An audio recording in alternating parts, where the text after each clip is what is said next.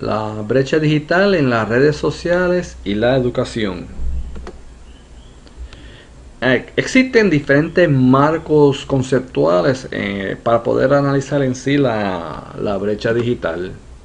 Muchas veces se usa el marco conceptual de lo que se llama la brecha social, es decir, hay una correlación entre la brecha social y la brecha digital.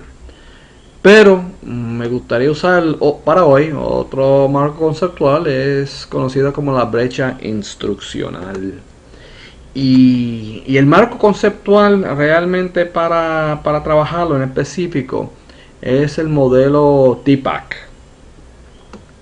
TPAC mm, ve el proceso de enseñar y los ambientes que se crean en, tres dimensiones. El conocimiento tecnológico que el maestro debe tener, el contenido, el conocimiento de contenido que debe tener y también el conocimiento pedagógico que debe tener.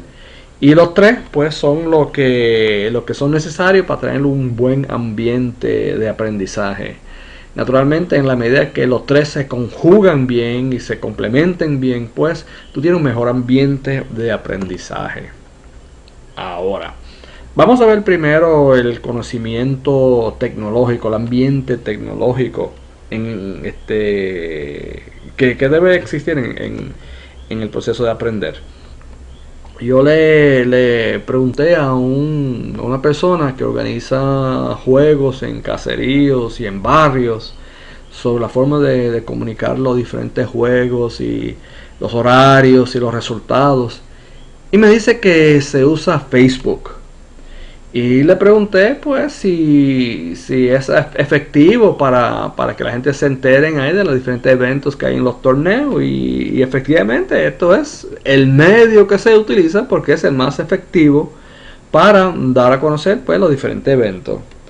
Así que en lo concreto y en la práctica vemos de que Facebook sí es un medio accesible incluyendo a lo que nosotros conocemos como las comunidades marginadas. Ahora, en, una comunidad académica, pues también este, vamos a ver cómo es que se puede interpretar su uso. En, en, mi caso, bien en particular, yo le hago un cuestionario a mis estudiantes al inicio del semestre y este semestre le pregunté este, si tienen un acceso continuo a la computadora personal en su casa y dijeron el 100% dijeron que sí, que tienen un acceso continuo. Este, le pregunté si se sienten cómodos usando la computadora y el 96% también dijo que sí, que se sentían cómodos usando la computadora. Y luego le pregunté si tenían un acceso fácil a la internet y el 92% contestó pues, este, positivamente, que implica de que la tecnología no es un impedimento en, general en, mi curso. Así que eso nos trae ahora a hacer esa mirada a los conocimientos pedagógicos y el conocimiento del contenido que se conjuga ahora en, en estos cursos. En mi caso en particular uso Edu 2.0 como mi plataforma para mis cursos. Y también pues tengo a Facebook como un complemento en sí a esa experiencia este, con mis estudiantes.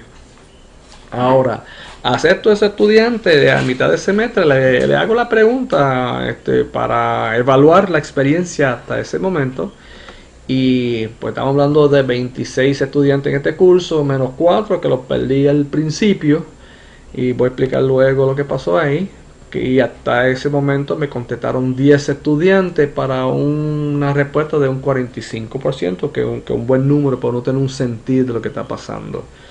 Y le pregunté otra cosa, cómo se siente hasta ahora en el curso, qué debemos cambiar en el curso y qué debemos, qué debemos preservar en el curso.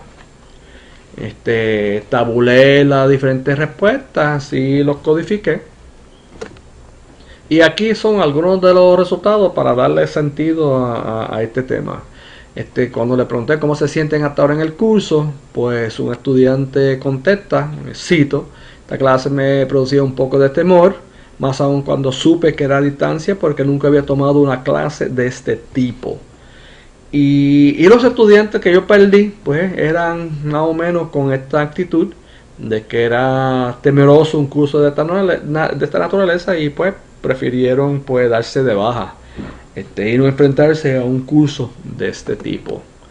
Este otro estudiante dice, al principio me sentí un poco insegura al no ser presencial la clase y todo era y que todo sea por internet, ya que pensé que quizás no iba a entender algún tema. Pero ahora considero que el estilo de la clase me ha ayudado a ser más organizada y a no perder mi tiempo.